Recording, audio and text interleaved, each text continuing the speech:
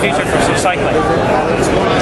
Right here, what we have today is, Simon, an electromechanical fork that changes how you think about how suspension works. You basically throw away all mechanical parts and turn it into an electromechanical system that you can program. Some of the features that you get with this system is that you have an on-the-fly adjustment. Again, because it's electrical, we can change it to whatever we want it to be. Right here, we're showcasing five different programs for the rider on the fly all mountain. This is just a regular fork, nothing too special. You have regular compression and rebound. You probably use this most of the time when you're riding over rocks and roots. But you need to get on a fire road to get to the next trailhead, you don't want it to be bobbing as much. We programmed in a cross-country mode that has a pedaling platform. There's a little bit of a fitness action going on at the top, so it's not bobbing so much. You go back into the trailhead, you got all mountain again, fully open. Sometimes while you're climbing, you have this steep pitch where you feel like you're falling off the back end of the bike, and you want to change the geometry of the fork. So then what you do is you go into the travel management mode, this changes your fork. Right now it's a 130 millimeter fork. We're going to change it into an 80 millimeter fork. We can see that it's now a shorter fork. We can pop it back up just like that. Travel management is still fully active, but it's a shorter fork. You have a new geometry, you have more stability over the front end.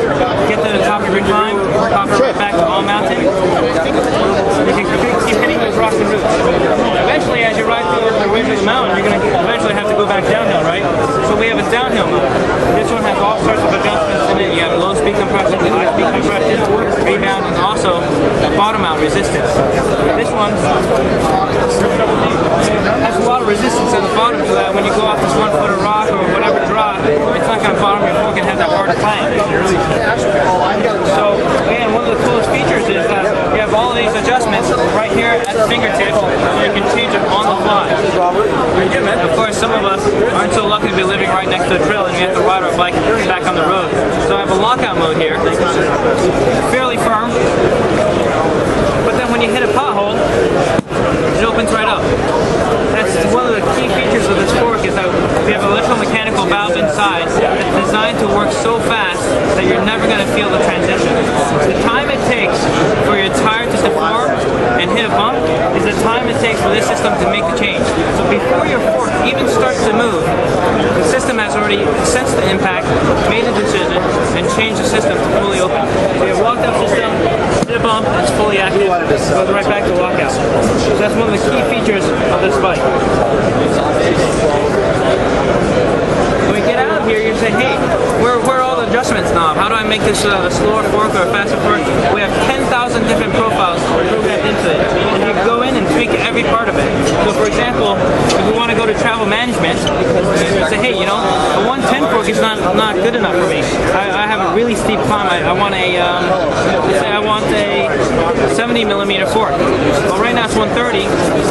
Pop it down, it's now a 70 millimeter fork. Or maybe you want it even less. Maybe it's a 50 millimeter. Or for some people, they just need 110.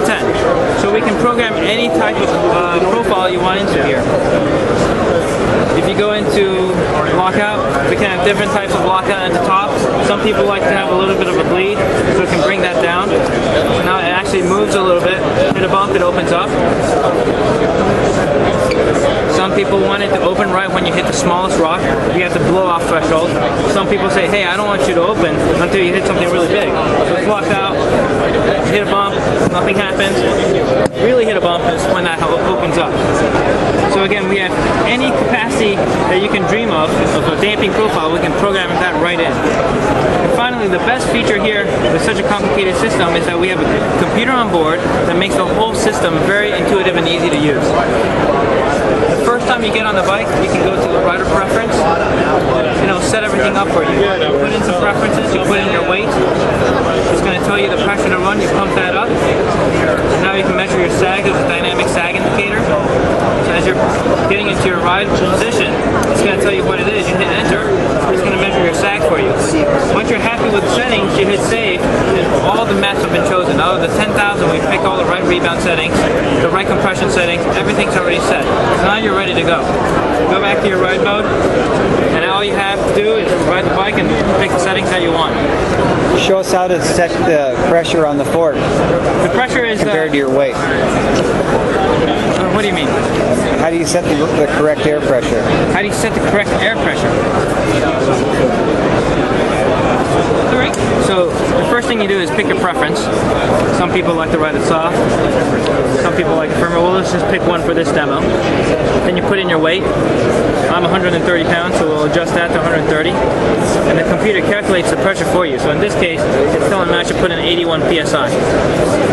The air spring at the bottom is uh, very similar to all our other systems. The air solo air. There's a valve at the bottom. You just pump that up with a regular shock pump. Once you have that pumped up to 81, you can now get on the bike and measure your sag. Get in your ride position. Some people have more mass on the upper body. Some people have a longer stem. Some people have a shorter stem. So invariably, it's going to be a little bit different from what we actually advise. So your actual sag in this case, I didn't push it down. It says 11%. Um, someone else gets on it, it might say 47%. You have to play around a little bit to, to get the settings that you like. And again, you hit save and all the settings are picked. Cool. All right. Thank you very much. Thank you.